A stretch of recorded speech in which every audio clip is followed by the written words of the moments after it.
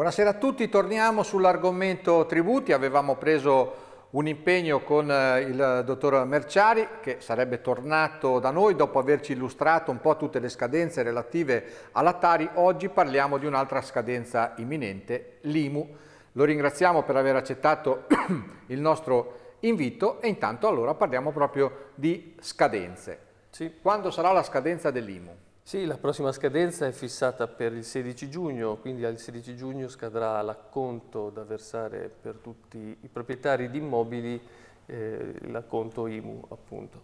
Ecco, acconto IMU, l'IMU è la tassa ovviamente sugli immobili, sui fabbricati, su che cosa va pagata? Sì, la grossa novità di quest'anno, credo che ormai sia conosciuto da tutti, è che l'abitazione principale non è più oggetto di tassazione, quindi tutti i proprietari di abitazione principale e relative pertinenze non saranno chiamati al pagamento del, del, della Tasi, prima dell'IMU e poi è stata variata in Tasi, oggi da quest'anno torna a essere esente l'abitazione principale con le sue pertinenze, quindi questa è la grande novità. Tutte le altre tipologie di immobili, quindi tutti gli immobili abitativi che non sono destinati ad abitazione principale, intendendo per abitazione principale quella di residenza e domicilio del proprietario, tutte le altre tipologie di unità abitative saranno soggette all'IMU e lo stesso tutti gli altri fabbricati commerciali, industriali e artigianali sono soggetti sempre all'applicazione dell'IMU con appunto scadenza il 16 giugno. Ovviamente anche chi fosse proprietario di seconda casa è tenuto al pagamento dell'IMU.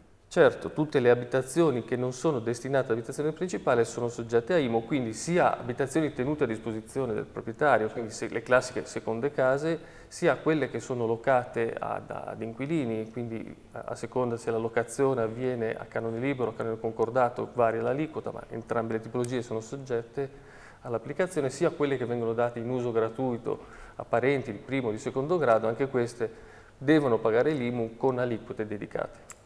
Dottor Merciari, lei ha fatto una, così, una considerazione rispetto al, all'esenzione per la casa di abitazione, la casa di residenza e le pertinenze. Di pertinenze di che cosa si tratta e quante pertinenze sono eh, esentati. Sì, la legge considera pertinenza eh, soltanto gli immobili iscritti in catasto con la categoria C2 e C6, cioè parliamo di cantine e garage, e l'esenzione viene riconosciuta solo per una tipologia un immobile per ogni tipologia, quindi solo una cantina e solo un garage, quindi solo un C2 e un C6. Capita spesso o capita sovente che alcune persone hanno l'abitazione hanno due garage, due C6. Ecco, in questo caso solo uno può essere considerato pertinenza, l'altro invece non essendo pertinenza sarà soggetto al pagamento dell'IMU. Stesso ragionamento ovviamente vale per il C2, chi ha due C2, ha due è C2 chiamato a pagare, per uno è esente e per l'altro invece è eh, Un ultimo chiarimento e poi andiamo un po' a vedere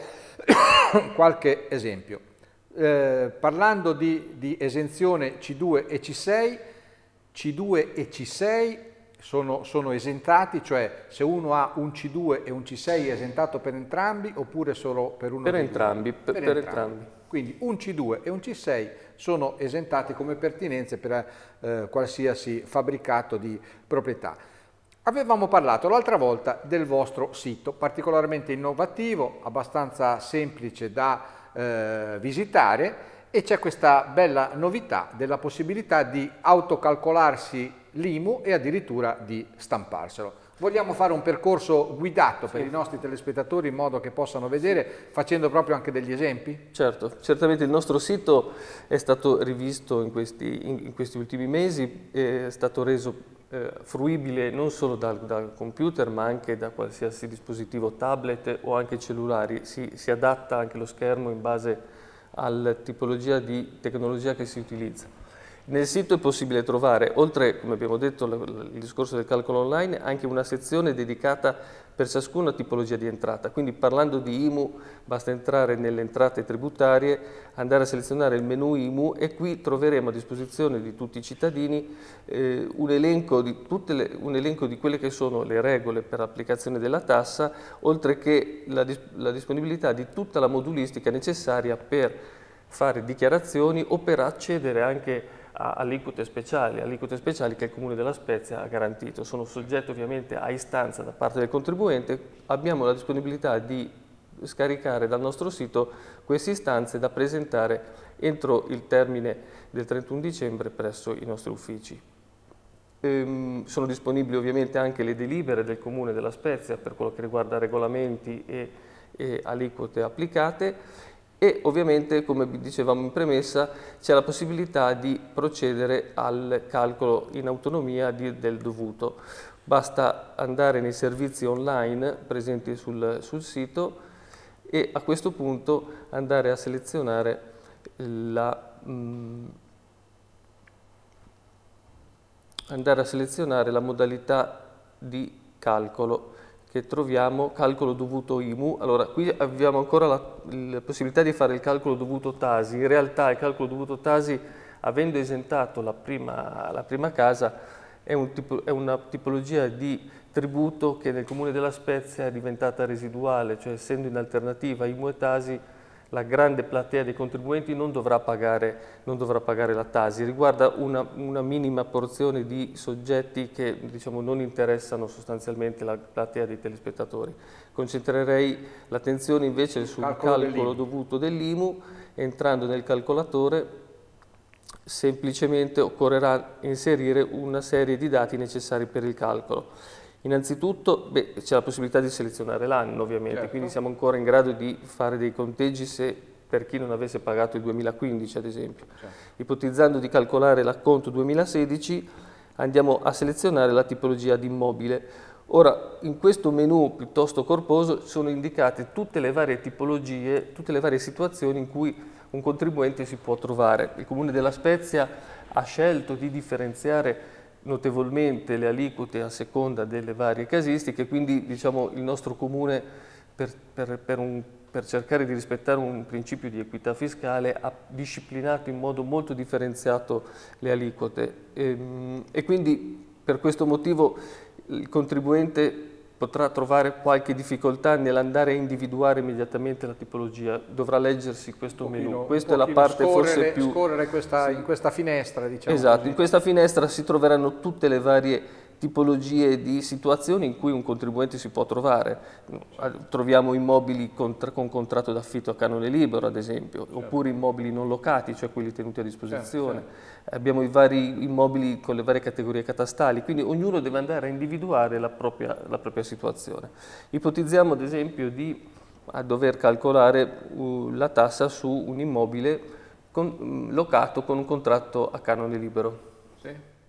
Quindi selezioniamo, ehm, selezioniamo la, la, categoria, eccola qua, immobili locati a canone libero, categoria catastale A2, A3, A4, A5, A6 o A7, perché questo va a distinguerli con gli A1, A8, A9 che sono immobili di lusso e sconterebbero l'aliquota all'1,06.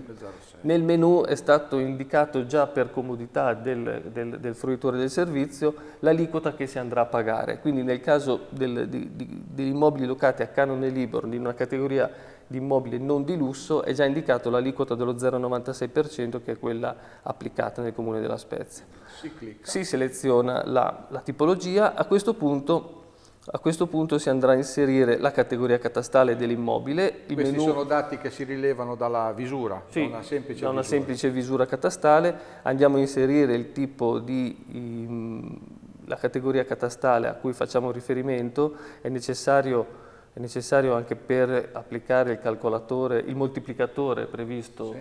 Eh, previsto da applicare alla rendita poi molto importante ovviamente bisogna andare a inserire la rendita catastale non rivalutata, quindi quella che si legge sul, sulla, sulla, sulla misura catastale. Ipotizziamo una rendita di 1000, 1000 euro, mhm. -huh. dopodiché ci rimane da indicare il periodo di possesso, perché sì. ovviamente... Uno può averla acquistata o ceduta in corso d'anno. Esatto, se no di default il programma prepara il calcolo da gennaio a dicembre, quindi eh. se è intervenuta una variazione in corso d'anno basterà modificare il mese di possesso. Certo. Attenzione, il mese di possesso si deve calcolare quando eh, se l'acquisto eh, dell'immobile è avvenuto prima del 15 del mese si deve computare per intero il mese, se è avvenuto dopo il 15, dal 16 al 30, a quel punto si esclude il mese e si parte dal mese successivo. Bene.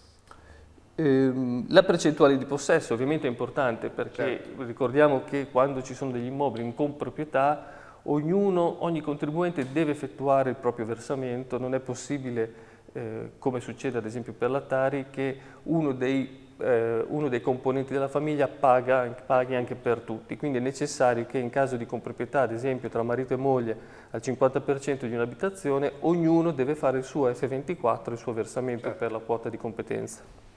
Quindi indichiamo la quota di possesso, ipotizziamo nel nostro caso che sia al 100%.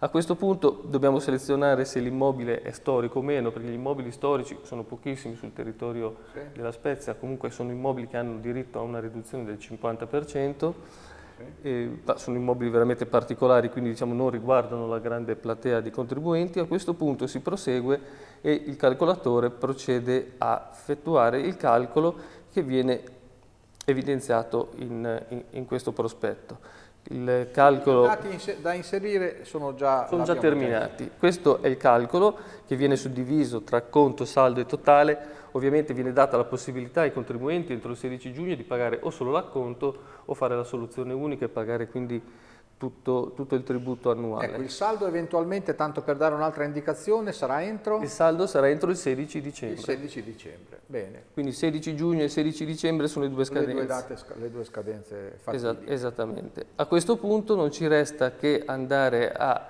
generare l'F24 inserendo i dati, i dati, fiscali del soggetto che effettuerà il pagamento, quindi andremo a indicare cognome eh, Rossi, Mario, eh, potremmo andare a inserire un codice fiscale, dopodiché... Il sesso ovviamente va indicato, data di nascita. Sì, si possono indicare questi, questi, questi dati per la compilazione poi dell'F24, possiamo anche evitare in questo momento serve solo per effettuare sì, sì, la sì, scelta. Certo. Si deve scegliere la tipologia di modello, il modello semplificato è quello che prevede il versamento, la stampa su un unico foglio, e che viene poi tagliato e rimane una parte a noi e una parte rimane okay. alla banca che ha effettuato, alla banca o all'ufficio che ha effettuato okay. la transazione.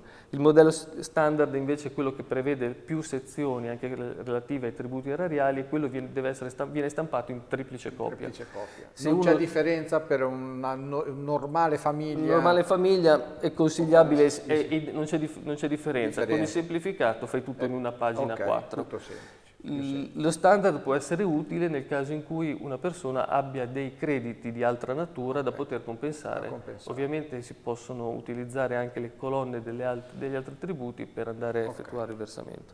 Quindi Ipotizziamo di utilizzare il semplificato, a questo punto stampa F24 e uscirà, uscirà il nostro modello, questo semplificato, semplificato. come vi dicevo, in un'unica un pagina dove ovviamente ora non ho compilato tutti i dati anagrafici, ma se l'avessi compilati correttamente certo, sarebbero usciti visto, data di nascita e certo, comuni certo. di nascita. Che quello... ovviamente è opportuno inserire nell'F24. Certo, certo, e poi la parte relativa proprio al tributo è già compilata con, viene siglato con la X la, la, la voce dell'acconto, viene indicato il codice ente, è un codice molto importante, E463 è il codice della Spezia, quindi attenzione questo calcolatore utilizzato per il comune della Spezia. Della Spezia, anche questo altri... è importante, sì. eh, nel senso che le aliquote sono quelle, il, diciamo così, il procedimento è equivalente per tutti i comuni, ma le aliquote che sono inserite in questo calcolatore di Spezia Risorse valgono solo ed solo, esclusivamente sì. per il comune della Esattamente, e, e, lo stesso il codice ente che viene viene stampato nel, nel PDF dell'F24 è 463, il codice che identifica il comune della Spezia, quindi per gli altri comuni ovviamente non si potrà utilizzare questo sistema. Il codice tributo è quello che identifica l'IMU, eh, quindi ci sono tutti i dati, l'anno di riferimento e l'importo da versare. Quindi diciamo il compito del contribuente viene facilitato con questo strumento di calcolo online e, e dando appunto la possibilità, avendo in mano una visura catastale dell'immobile, quindi conoscendo la rendita, di eh, calcolare l'IMU dovuta. Un'ultima un informazione, dottor Merciari. Eh, chi si apprestasse a fare la, diciamo così, questo questa, eh, pagamento dell'IMU per la prima volta, adesso ci hanno presentato un caso per esempio, fino allo scorso anno era il condominio che pagava eh, l'IMU per tutto il condominio, perché c'erano delle, delle, cantine a proprietà indivisa. Sì. Quest'anno per la prima volta l'Assemblea condominiale ha deciso che ogni condomino pagasse il suo. Oltre a questo è necessario fare qualche denuncia, qualche, qualche dichiarazione aggiuntiva? In questo caso particolare consiglierei di sì utilizzare il modulo della dichiarazione sempre presente nella sezione IMU dove viene esplicitato che il pagamento viene effettuato dal singolo proprietario. Ora diciamo se già in visura catastale la proprietà degli immobili è chiara e definita non è obbligatorio presentare presentare alcuna dichiarazione perché noi abbiamo l'accesso alle informazioni direttamente e non si può obbligare il cittadino a farlo. Comunque sia, ripeto, non è male avere la disponibilità di una dichiarazione del contribuente che può salvaguardare lui e far lavorare meglio noi. Ecco, questa dichiarazione come viene inoltrata? Può essere inoltrata o direttamente presso il nostro protocollo col servizio postale o anche via mail. Via mail può essere inviata alla mail imu-speziarisorse.it oppure anche tramite la, la, la, PEC della società speziarisorse.pec.it. Ecco, questo moduletto uno, uno, scrive praticamente che le pertinenze relative al condominio di via tal dei tali, eccetera, eccetera, identificate con tale numero, eccetera, eccetera, essendo a proprietà indivisa, da, a partire dal 2016 ogni condomino paga, paga la, la, la, sua, la sua quindi quota, una segnalazione semplice, non c'è bisogno di formulazioni particolari. No, assolutamente. Bene, dottor Merciari, noi la ringraziamo, speriamo di essere stati chiari, sicuramente lei lo è stato con le sue delucidazioni, è sempre una materia un po' ostica, però alla fine mi pare che lo sforzo che avete fatto con questo sito è sicuramente uno sforzo che dà l'opportunità e la possibilità ai cittadini, ai cittadini di Spezia, ripetiamo perché Spezia Risorse del Comune della Spezia si occupa di eh, poter adempiere a questo, a questo eh, obbligo di pagamento di un tributo. Vogliamo ricordare le date allora, così sì. in chiusura? La scadenza del 16 giugno, giovedì 16 giugno, la prossima scadenza dell'acconto IMU. Grazie dottor Merciari. Grazie a voi. E buon lavoro a voi per eh, adempiere al nostro dovere di cittadini.